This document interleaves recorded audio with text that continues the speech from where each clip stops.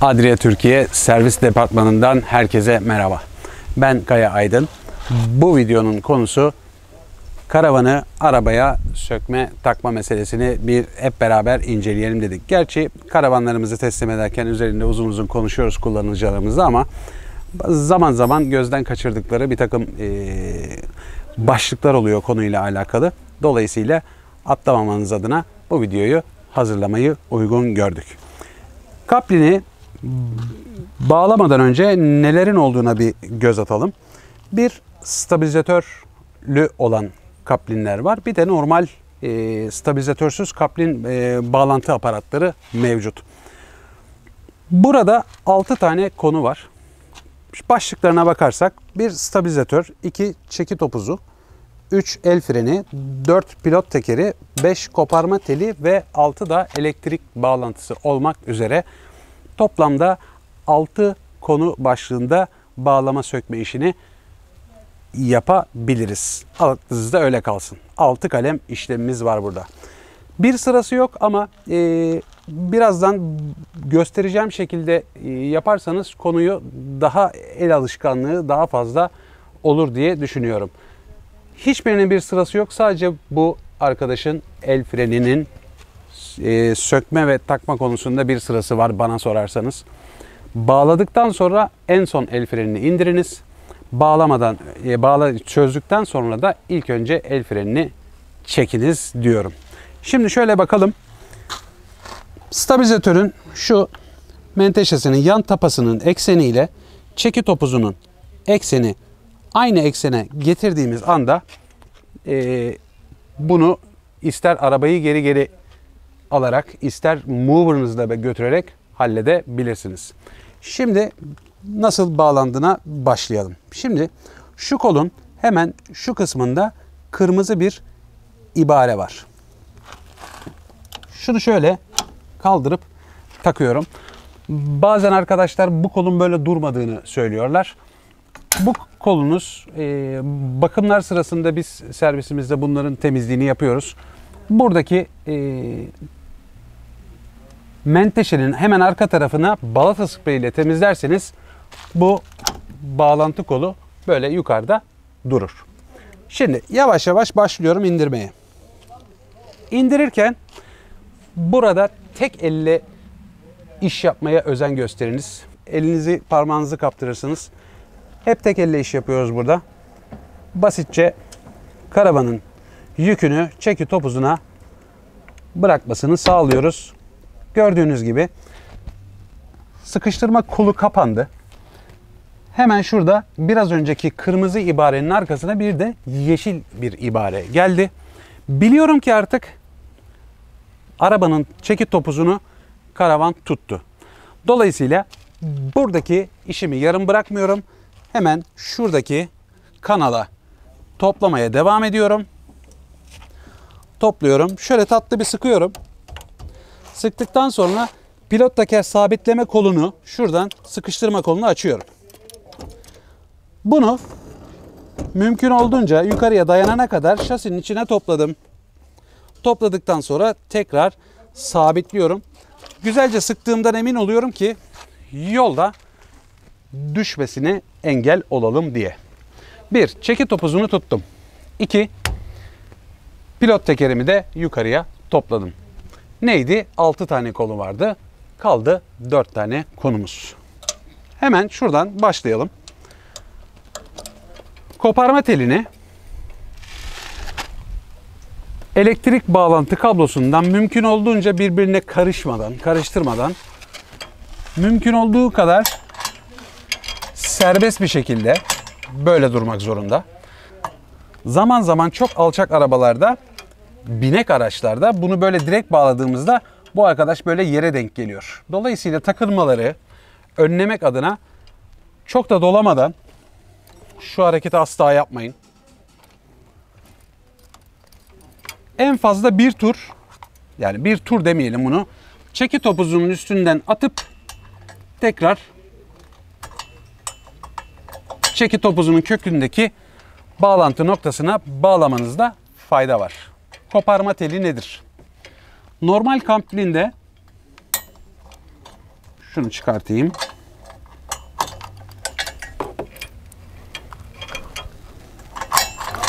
Normal kaplinde çekit topuzundan çıkma ihtimaline karşı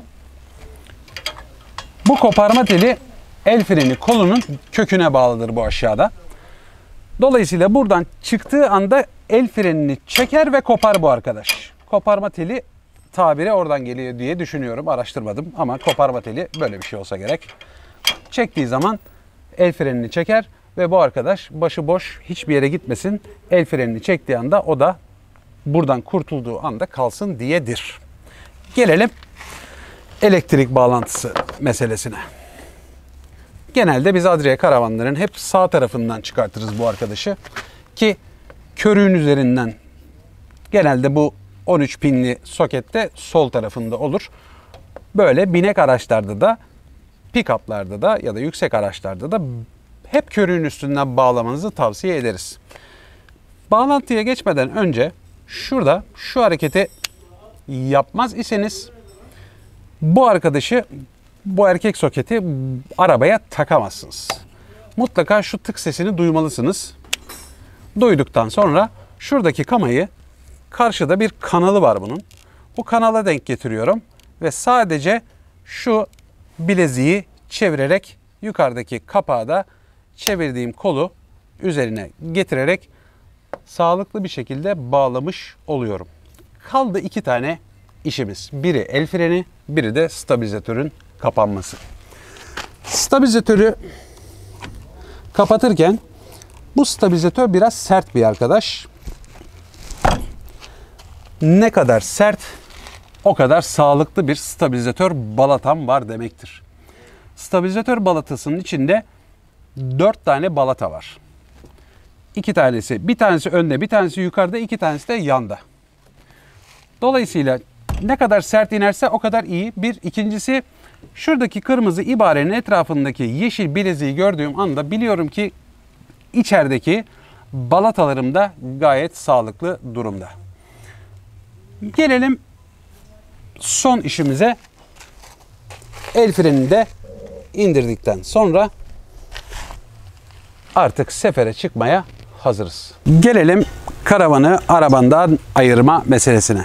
Binek araçlarda özellikle 2000 dizel altı araçlar için söylüyorum. Geri manevranızı yaparken aracı rahatlatmak adına mutlaka stabilizatörünüzü açtıktan sonra geri manevralarınızı yapın ki biraz daha rahat manevra kabiliyeti olsun aracınızda.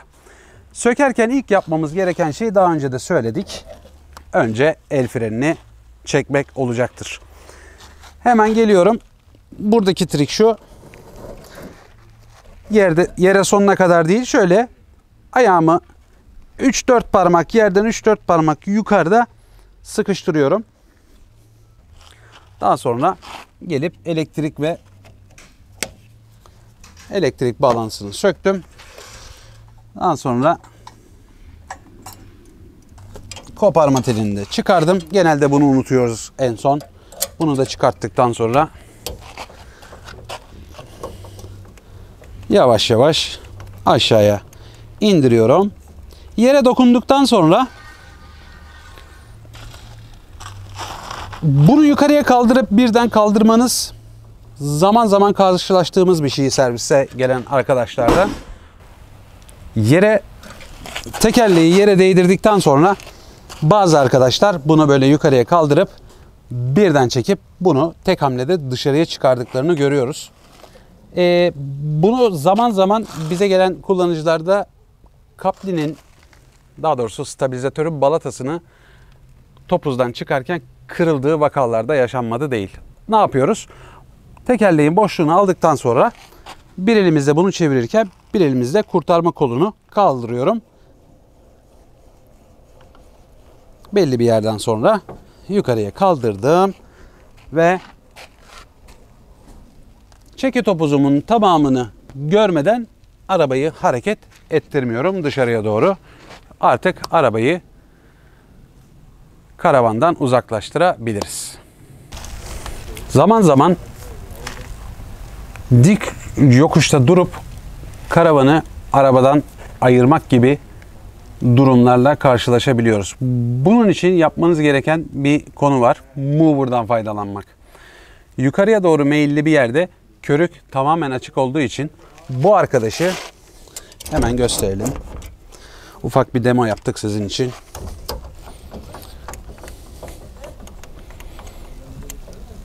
Biraz önceki görüntüde olduğu gibi bu bu kadar rahat çıkmayacaktır bakın. Gördünüz mü takıldı. Bu gibi durumlarda mover'ınızdan faydalanıp bu arkadaşı körüğü tatlı bir kapatmakta fayda var. Kapattıktan sonra el frenimi çekiyorum. Hemen gördüğünüz üzere buradaki kasılmayı aldıktan sonra çeki topuzumu stabilizatörden rahat bir şekilde kurtarmış bulunuyorum. Bunu bayır aşağıda yapabilirsiniz. Bu sefer çok kapalı olduğundan çıkardıktan sonra direkt stabilizatörünüz gelip tamponunuza zarar verebilir. Dolayısıyla tatlı bir geri alıp yük çıkarmanızda fayda var. Burada değinmemiz gereken bir takım konular var.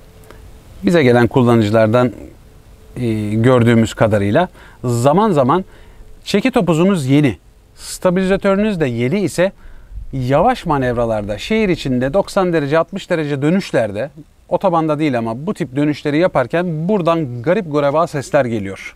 Hatta e, çok endişe edip e, problem mi var arabamda diyen arkadaşlar da oldu.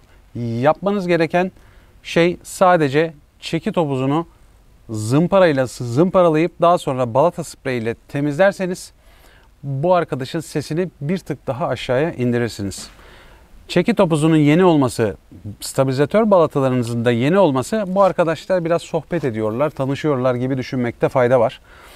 Dolayısıyla ama sizi rahatsız ederse dediğim gibi çeki topuzunu zımparalayıp balata spreyiyle temizlemek zaman zaman stabilizatör balatasını da spreylemekte fayda var. Zaman zaman yine gördüğüm kadarıyla bazı arkadaşlar buradaki çeki topuzuna ya da bunun içine yağlayıcı, gres gibi bir takım e, kimyasallarla müdahale etmeye çalışıyorlar ses için. E, bütün stabilizatörün e, görevini yapmasına mani olursunuz böyle. Burayı asla yağlamıyoruz.